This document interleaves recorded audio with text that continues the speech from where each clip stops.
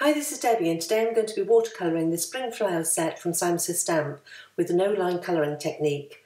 This is one of my favourite ways to watercolour flowers as you don't get any strong lines visible to deter from the delicate blooms. I'm planning on pairing the Spring Flowers set with a sentiment from the hand-lettered encouragement set. I'm starting with a long rectangle of Arches cold press watercolour card in a MISTI and I've lined up the crocus leaves to start the stamping. I'm using antique linen distress ink as this ink being light in colour and highly water reactive will become invisible once I start painting.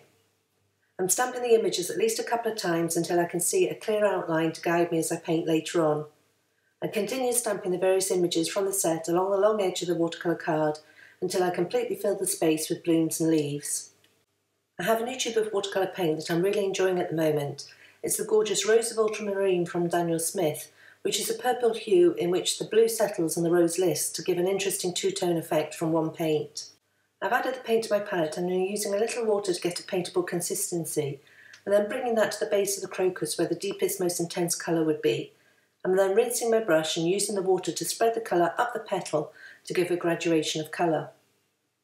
Once that petal is painted, I'll move on to a separate petal which doesn't touch the first, so that the paint doesn't bleed from one petal to the other, Later I'll come back once the petals are dry and paint those in between.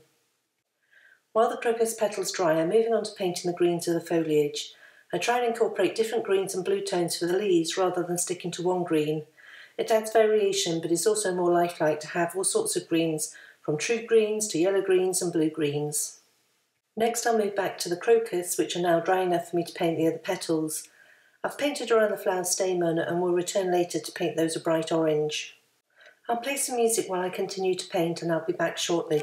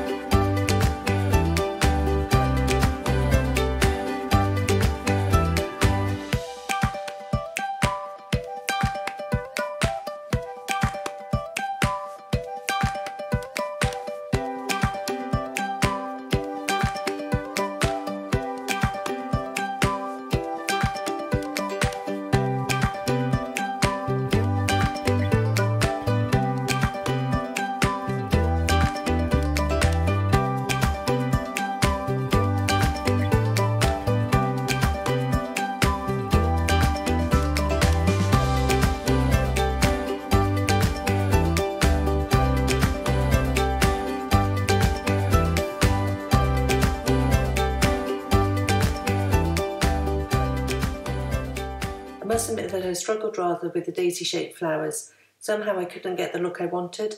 However, I kept working at it, adding deeper shades to define the petals, and then blending out with water to give soft lines, and eventually I was happier with how they looked. I'd already used a light peachy cream colour on the lower portion of the background to give it some interest, and then added some splatters to finish. With the panel now dry, I put it back in the MISTI to stamp the sentiment from the hand-lettered encouragement set in VersaFine Onyx black ink. I stamped it a couple of times and then went over any areas which hadn't stamped perfectly with a black marker. I'm going to be adding some pencil shading to this watercolour next, but before I do, I thought I'd mention the sharpener I've been using, as I've had a number of questions.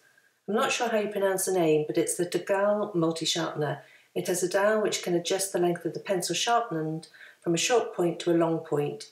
I prefer my pencil lead short and sharp as I feel there's less chance of breaking and so I use the sharpener with the number 1 setting. In the main I use pencils to add more depth to the darkest areas such as where petals overlap or the centre of a flower. Also they are great for adding the fine line details such as those on the leaves. I sometimes struggle with a paintbrush to add finer details as my brush lines often work out too thick. I'm still working on those daisies to try and get them looking right. I did find they look much better when I started to add some pencil details in darker tones to the flower centres. With the pencil shading now complete, I took a full piece of Neenah Desert Storm card and scored it along the long side at four and a quarter inches. I reinforced the score line with a bone folder and then trimmed it to fit the watercolour panel. I added foam adhesive to the back of the panel and then added it to the card base. I wanted to add just a little embellishment to the card and so I pulled out my selection of sequins and picked out a few colours which went well. I arranged a few sequins on the panel and then attached them with Ranger Multi Medium Matte. And that completes his card using the Spring Flower set No Line watercolour A Border of Spring Flowers. I'll leave links in the YouTube description below to the products that I've used today, as well as a link to the coordinating blog post over at limedoodledesign.com. I want to thank you for joining me today, and if you've enjoyed this tutorial, I'd be delighted if you'd subscribe to this channel. Thanks, and I'll see you next time.